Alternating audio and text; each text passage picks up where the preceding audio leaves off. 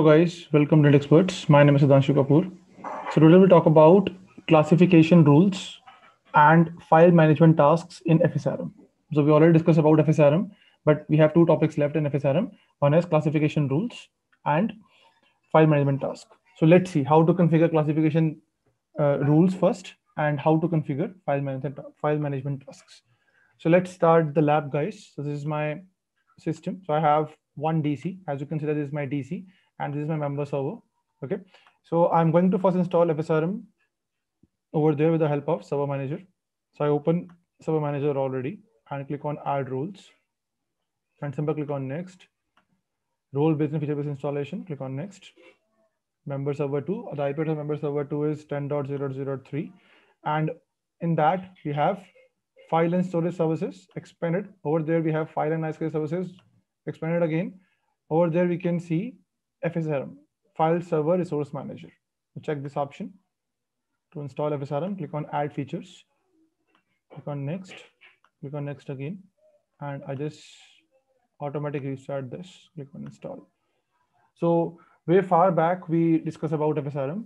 It's, it's uh, so uh, in, in that FSRM, we discuss about quota management, file screening management, and all those steps. So we have two topics left in that, classify, classification rules and file management task. So I'll let you know once you install FSRM. So I'll let you know how to configure this and what is and what is the use of these these two these two features in FSRM. Let's wait for this for installation, guys. So we successfully installed FSRM in member server 2 as you can see that now i just click on close over there okay i minimize this now the concept is why we install fsrm why we go for classification um, properties or we can say classification rules so with the help of classification properties or classification rules in in fsrm what we can go for that we can we can you can say that protect our files as much as we can like you can say that like if, if we talk about the file file properties so like imagine that I have a file over there in this folder. Like if I see the files over there in this folder. So I open my file explorer. Over there we have two files, test1 and test2. So I go to right click on the text text2 and we have to go to properties over there. Now, once I click on properties over there, we have the option details. Once I click on details over there. So as you can see that these are the properties we have file name, type of file name, type of file, folder path, size, did the uh, date created of this file, date modifier of this file, attributes on owner, who is the owner of this file, and computer, where which computer or which uh, system is, is, situated. Okay, so these are the properties of that. So if I need to create a new property and, and the files, okay, so we can use classification rules and classification properties. So with the help of two things in classification rule, class, classification in FSRM, we have first we need to create the property and then we can define the rules on the property. Okay, so with the help of properties, we can protect our file. With the help with the help of properties, we can protect our files in file servers. Like imagine this is my file server. We have so many files are there. So I want to protect my uh, files with the help of properties, file properties. We can go for classification in FSRM. So let's go for that now. First, I need to create the properties now, a new property. So I first open the FSRM. So I go to start. So I click on identify tools over there. And then in the in the down, we can find FSRM, File Server Resource Manager, after installing this role. So just simple click on open this File Server Manager. So as you can see that we have we have covered these things, uh, quota management, file screening management, and storage reports. Now we'll talk about the classification management. In classification management, we have two things. If I expand it over there, we have two things, classification properties and classification rules. So now if I want to first, first create the classification properties, I want to create a new properties over there. Let's right click on that just wait.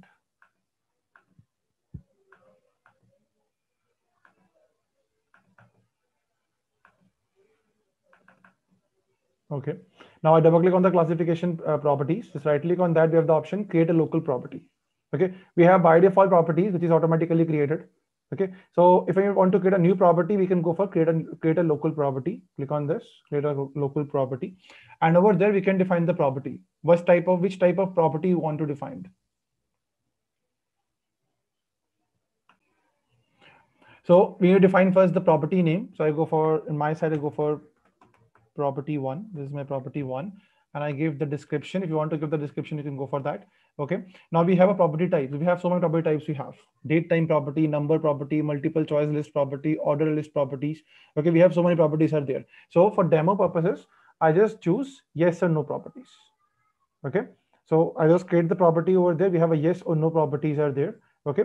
And then click on okay simple. So this is what we have to create the properties. As you can see that we have one property is created. The property name is property one and we have a uh, file classification is shown in the file this is used for file classification and the type is yes or no. Now possible values is yes or no. Now we go for now after the we need to create the classification rules. So once i click on classification rules just right click on that we have the option create classification rules. I'm going to create a classification new rule now, what type of rule I, I want to apply this property? Okay, so with the help of classification rules, I want to apply the rules. So first I need to go for rule name. So this will go for uh, rule one and it should be enabled. So my rule is enabled. Now I just click on scope. Now where I want to apply this rule. So I want to apply this rule on, on my on one of my folder. So my folder name is users data. Okay, in C drive. So I'll showing you in, uh, I just go in my C drive over there. We have the option uh, users data as you can see that down down. Here the user data fo uh, folder is there. We have uh, some documents are there. Means i have some text files are there. I want to apply this rule on this. So just click on users docs. Okay. So it's automatically taking the scope the, the now after go for classification. Now classification we need to go for choose over there uh, folder classification. Choose a method to assign a property to the files. So i want that i want to apply this classification to the folders after that, it automatically apply this classification to the files. Okay. So now I use property property one over there and the specified value is yes. So what I want to that, I want that, I want to apply this classification property and and this classification rule on a particular folder, which we which uh, which I'm showing you the users docs, which we added over there in the scopes. Okay, this is what we have. I want to do. Now I go for evaluation type. So evaluation type is that now if you if you uh, create the the new files after apply this property to the folder so it's okay it's automatically apply on the files. On this properties automatically apply on the files.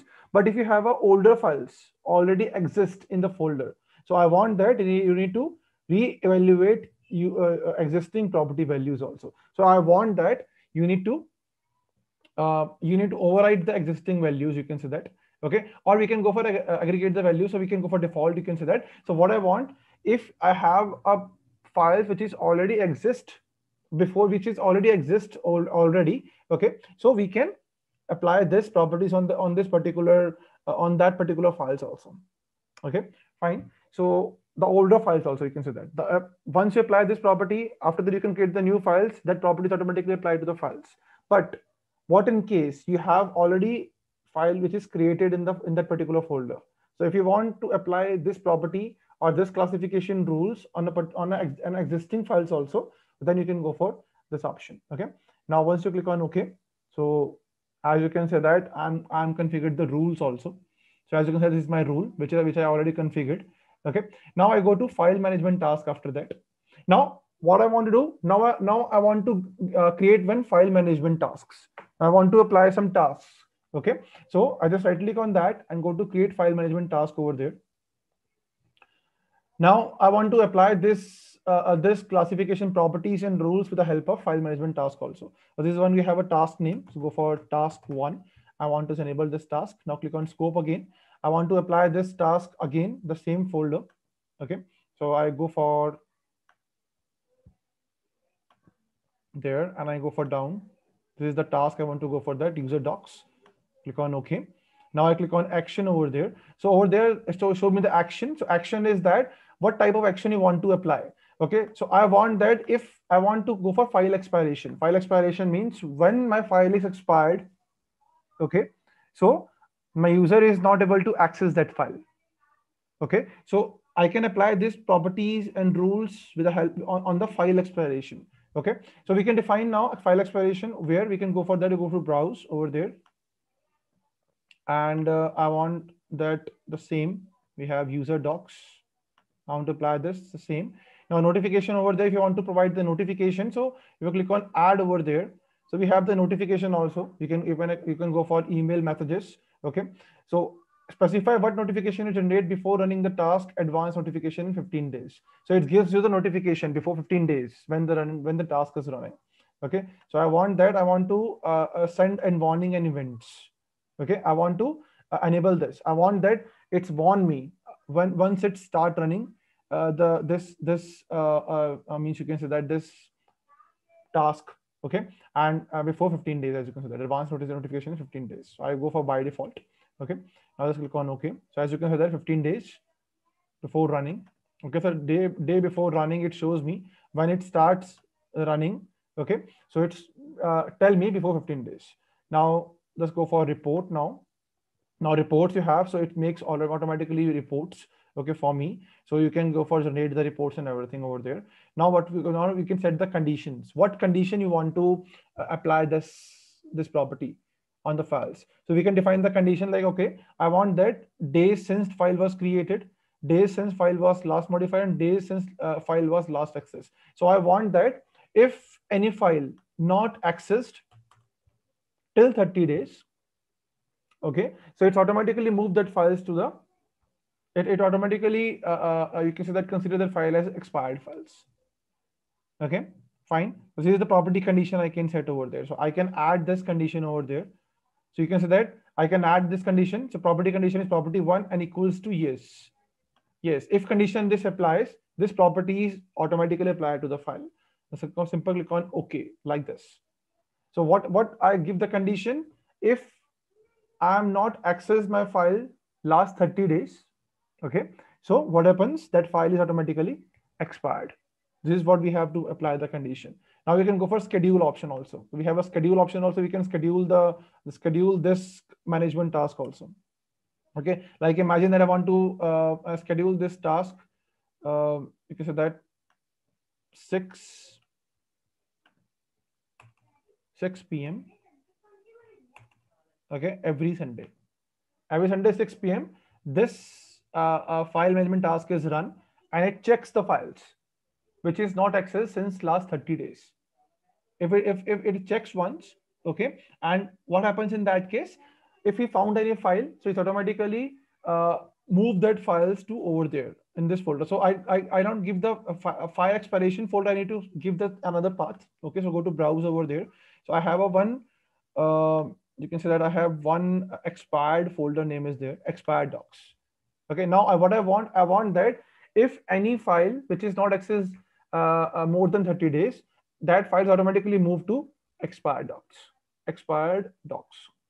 Okay, so what's what I could give there? So action is this and notification, I give the notification 15 days before when this task is running and the reports and then condition, I can define the condition. Okay, condition is days since file was last accessed. Okay, so if 30 days is more than 30 days when file is accessed, that file is automatically moved to expired docs. And this is the schedule. So every Sunday, it checks all my files in this location. In this location, checks all the files. If you found any file which is not accessed more than 30 days, so what they do, it move this file to expired docs.